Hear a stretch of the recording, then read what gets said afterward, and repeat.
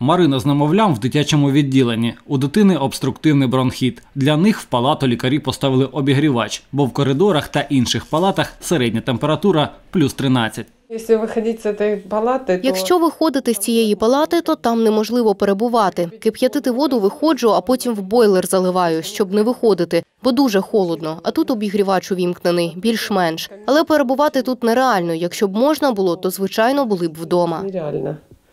нереально. Если бы, конечно, можно было, то были бы дома. У дитячому відділенні зараз семеро дітей. Четверо з них через низьку температуру в лікарні після процедур батьки забирають додому. Троє лишаються. Олеся з дитиною тиждень перебувають у лікарні. Моя дитина попала з горлом, температура висока і ацетон. А плюс тут ще ми й заробили бронхіт. Возити дитину додому жінка не може. Живе в селі за півсотні кілометрів від райцентру. Нам треба знаходитись тут цілий день і цілу ніч. От- Отоплення не працює, немає його.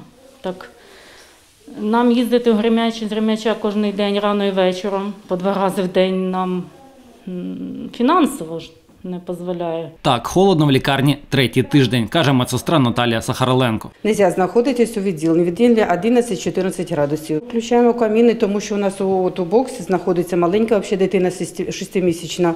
Обігрівачі вмикають, за словами директорки лікарні Олени Набхан, також в палатах пологового відділення. Дорослі ж пацієнти терапевтичного і хірургічного відділень перебувають без обігрівачів.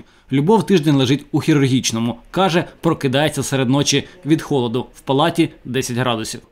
Холодно, очень холодно. Температурный режим. Холодно, дуже холодно. Температурний режим не змінюється. Скоріше можна захворіти, ніж одужати. Електрогрілкою, пляшками, дві теплі ковдри так і рятуємось. Інакше тут вижити не можна. По-другому здесь выжить нельзя. Через низьку температуру пацієнтів хірургічного і терапевтичного відділень перевели до палат, що з південного, сонячного боку корпусу. Там вдень тепліше. Вночі буває 12-13 градусів. Зараз от е, у, більшості палат 15 градусів це в день. Палати є, які е, ну, е, з північного боку там холодніше, з південного сонечко трошки способіємо підігріває. Я б сказала так, що ситуація критична. Заклад опалюється централізовано. Олена Набхан каже, просили дати тепло раніше календарного опалювального сезону.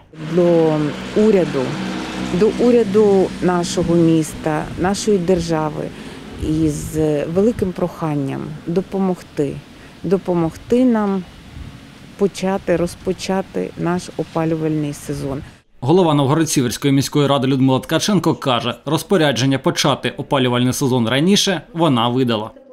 На що ми отримали відповідь від облтеплокомуненерго, що вони не можуть розпочати 7 жовтня опалювальний період, оскільки відсутнє, скажімо так, газопостачання на сьогоднішній день у всій не тільки в громаді і в Чернігівській області, а у всій Україні. Я спілкувалася з головою правління Чернігівгаз Яровою Аллою. Ми кожен день на зв'язку з нею з приводу постачання газу. На сьогоднішній день, як мені сказала голова правління, е, можливості постачати газ в громади немає. Зробити в лікарні автономне опалення на цей опалювальний період не встигнуть, сказала Ткаченко. Якби нас не поставили перед фактом у жовтні місяці, що така от ситуація складеться з ціною на газ, у нас було літо попереду, скажімо так, позаду вже тепер.